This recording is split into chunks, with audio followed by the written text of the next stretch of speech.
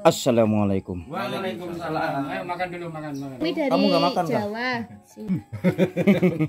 Kritik gedang godho telo. Apa itu artinya?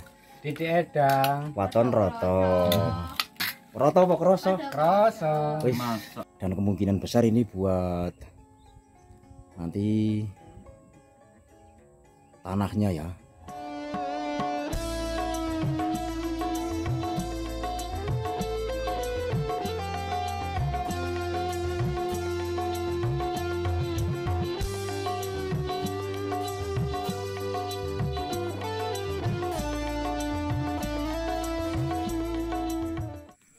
Baiklah sahabat Madrim yang tercinta, kita lanjutkan video ini ya. Assalamualaikum warahmatullahi wabarakatuh. Masih di layar kaca YouTube Madrim 125 dan masih di seputar pedesaan dan pertanian di pemukiman transmigrasi UPT Sepunggur Kabupaten Bulungan Kalimantan Utara, Indonesia. Dan pada kesempatan video kali ini saya baru pulang ya kawan-kawan dari Masjid Al-Aqsa. Tadi masih ada kerja untuk penerusan yang kemarin di Masjid Al-Aqsa. Dan ini saya sudah tepat berada di perempatan. Ah ini mungkin lahan yang sudah tidak asing lagi buat pemirsa yang di luaran sana ya. Penikmat eh, layar kaca YouTube Madrim 125 ini adalah lahan yang dikelola oleh Bapak Sudiwani. Baik kawan-kawan, saya akan ke warung untuk saya membeli rokok dulu ya. Sambil melihat-lihat tanaman di sekitar lahannya Pak Sudiwani. Nah, ini bisa panjenengan saksikan sendiri kawan-kawan. Padinya semakin hari semakin perkembangannya luar biasa kawan-kawan. Terlihat hijau royo-royo. Dan ini mungkin videonya agak gelap ya. Karena ini memantulkan atau memancarkan dengan matahari yang dari sana itu. Nah seperti itu. Nah dan warungnya di sini kawan-kawan. Ini warungnya Bapak Muslimin ya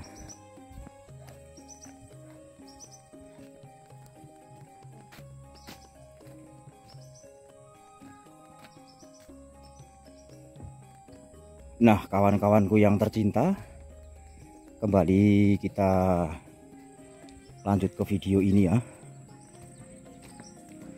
Ini saya di depan rumahnya Pak Sudiwani. Uh.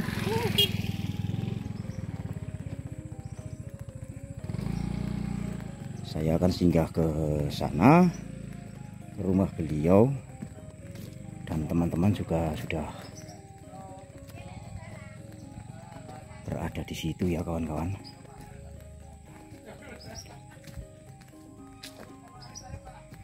Bismillahirrahmanirrahim.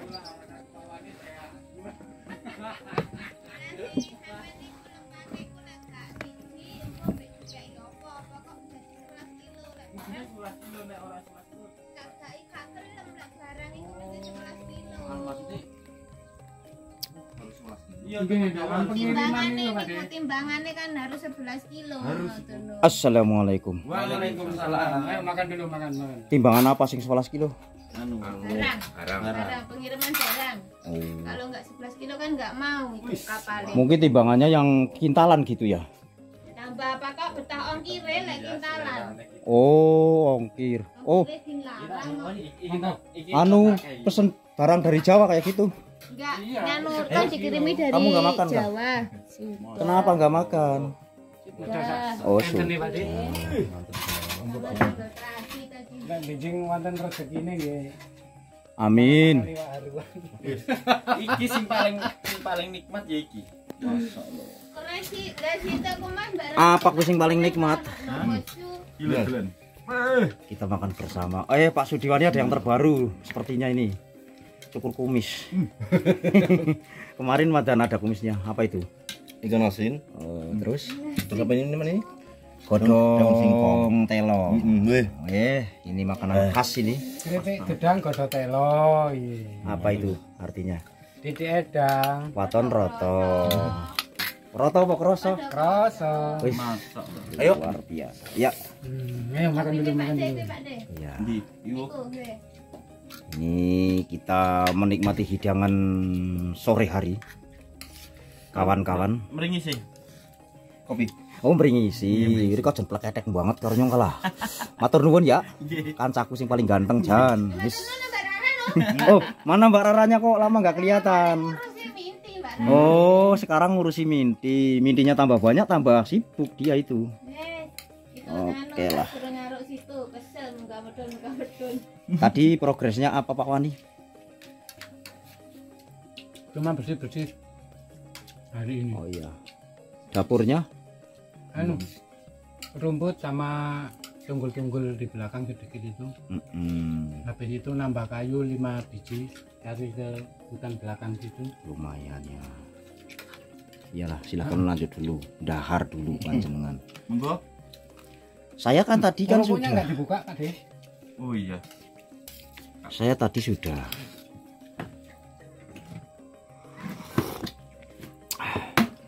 Oke lah, saya tak melanglang buana ke lahan-lahan.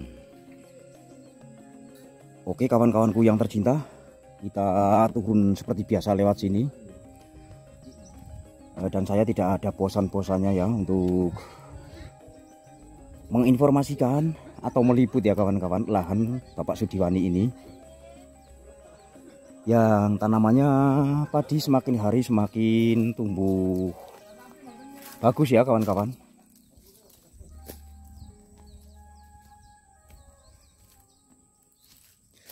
Dan di lahan sebelah ini, lahan hitungannya ini lahan kedua ya, tapi itu tadi seperti di video-video yang lalu, bahwa lahan ini masih menunggu untuk dikerjakan tanggulnya. Seperti itu. Nah, dan di sini juga ada yang terbaru ya kawan-kawan dari lahan Pak Sudiwani. Yaitu di sana ada pelebaran atau pembuatan anu ya apa namanya dapur itu sahabat Madrim nah itu yang di sana itu itu rencana dapur untuk tunggu ya. Karena menurut beliau Pak Sudiwani itu menghemat biaya. Daripada untuk membeli gas terus menerus mendingan eh, beliau berinisiatif untuk eh, menggodok air ya kawan-kawan atau memasak makanan yang akan dimasak itu menggunakan kayu bakar. Nah, beliau mempunyai rencana membuat dapur itu di sana. Dan ini saya lihat gelagarnya sudah bagian atap itu ya. Itu sudah dipasang kawan-kawan. Namun seperti yang panjenengan lihat di layar kaca YouTube Madrim 125 ini bahwa sepertinya beliau menggunakan kayu bulat kawan-kawan. Jadi untuk lebih lengkapnya kita akan coba sepil ke sana ya untuk melihat lebih jelas eh, apa namanya calon dapur Bapak Sudiwani. Nah, jadi penampakannya kurang lebihnya seperti ini kawan-kawan. Ini luar biasa ya.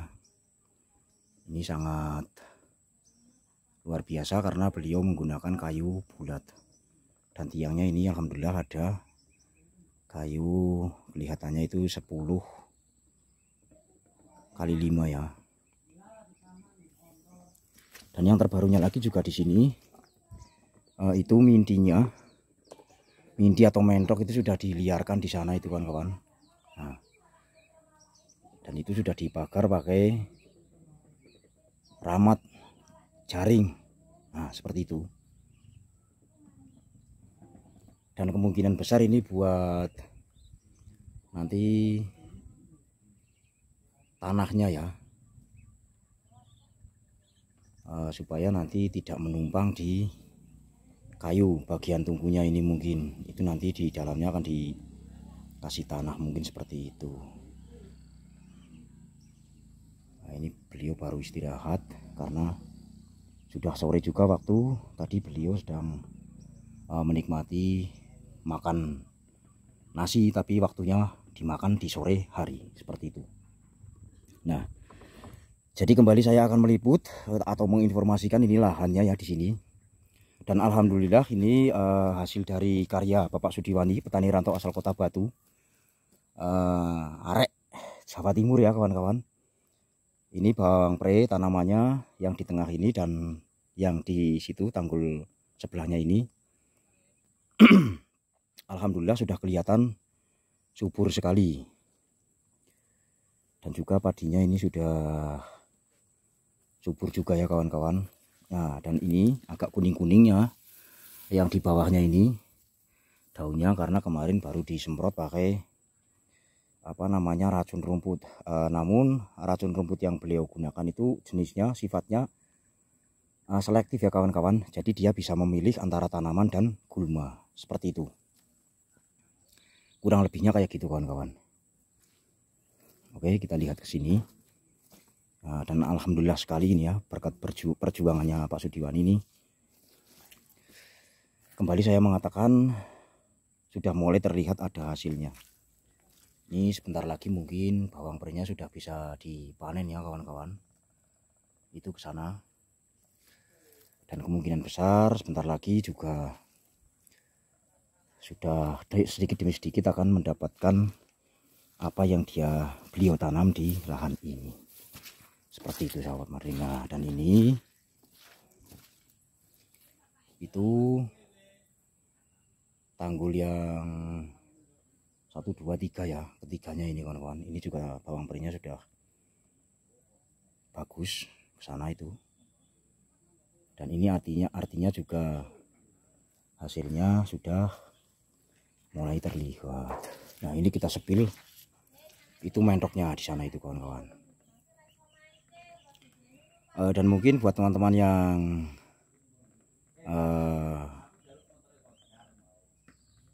kenapa bertanya atau kenapa itu belum dicat karena memang beliau uh, saya perhatikan sibuk sekali ya kawan-kawan. Jadi melakukan pekerjaan di kebunnya sendiri juga membantu di Masjid Al-Aqsa juga kemarin-kemarinnya juga membantu di uh, pembenahan dapur tempatnya Bapak Aris ya kawan-kawan atau Mbah Aris kayak gitu. Jadi itu mohon maaf belum sempat uh, dicat sebelah kanan dan kirinya seperti itu sahabat marin kalau baik kawan-kawan kita kembali ke tanaman padi ya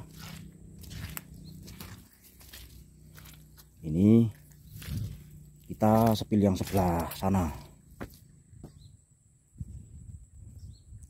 Mungkin ini telah disemprot kembali penyubur atau apa tadi. Kemungkinan besar penyubur ya sahabat marine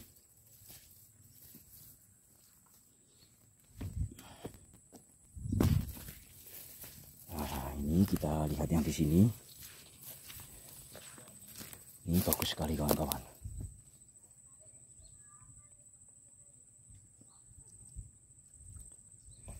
dan ini lahan yang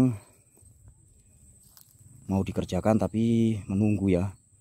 Menunggu. Nah ini eh, bilangnya beliau pemiliknya ini tanggul ini antara tanggul ini dan ini di sini kan ini pembatas ya. Itu nanti akan dikeruk dulu supaya di sini agak tinggi. Dan sambil menunggu ini dikeruk karena ini nanti ngeruknya pakai eksavator karena sementara eksavatornya sedang berjalan ke sana belum selesai ya jalan nih ini Pak Sudiwani. Aduh saya ngos-ngosan sekali kawan-kawan. Sambil menunggu ini uh, beliau mengerjakan yang sana itu. Yang tadi sudah diliput oleh Putri Tunggal 84 uh, eh, lahan sambungannya di belakang sana. Lahan di depan rumah Pak Sudiwani ini yaitu milik beliau Bapak Sutarmo. Kemarin ada yang mengatakan katanya itu Bapak kayak yang sule-sule itu di TV ya Tatang Sutarma kayak gitu Nah, baiklah sahabat Madrim yang tercinta. Kita lanjut ke sana ya. Dan kurang lebihnya video saya kali ini tentang lahan Bapak Sudiwani atau tentang perkembangan padi yang ada di sini di lahan ini. Uh, cukup hanya sampai di sini dulu ya kawan-kawan. Lain waktu dan gelombang yang sama, di kesempatan yang sama, kita akan berjumpa lagi. Seperti itu.